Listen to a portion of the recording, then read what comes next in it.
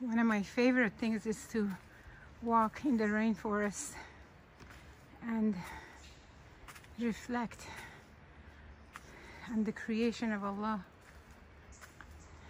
and the word of his blessed words. Occasionally of course I see a monkey. Sometimes friendly. Sometimes if they feel you have something to eat they come after you so I carry a stick with me when they see it. They don't come. Most important thing is anytime we're in nature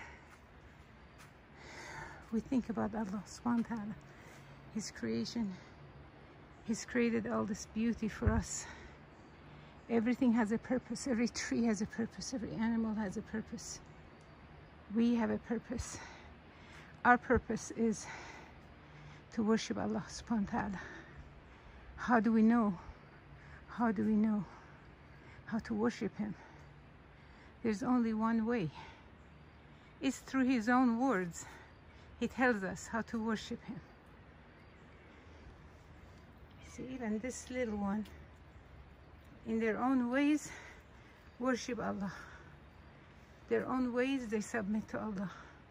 They don't have a corrupt mind like us, some of us. May Allah protect us and give us wisdom to worship him and use his book as the only way of guidance plus teachings and traditions of our blessed prophet.